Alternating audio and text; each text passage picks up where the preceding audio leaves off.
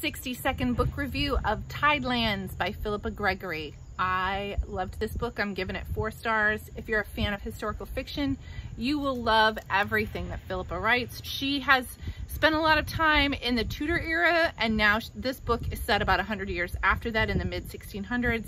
Again, it's from the perspective of a female protagonist who is just struggling to get by. A bunch of crazy things happen to her, as often happened to women in the 1640s in England.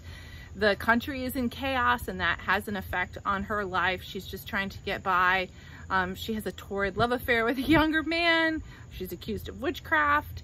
This book is incredibly suspenseful and it features Philippa's repetitive cadence. She does this thing with dialogue where it kind of uh, mimics the way people think in their minds where you're thinking about things over and over again, but maybe in different ways. Um, I found this book to be amazing. I'm so glad I read it. I love everything she's done. So four stars for Tidelands by Philippa Gregory. And if you're a historical fiction fan, read all of her stuff because it's really good. She never disappoints.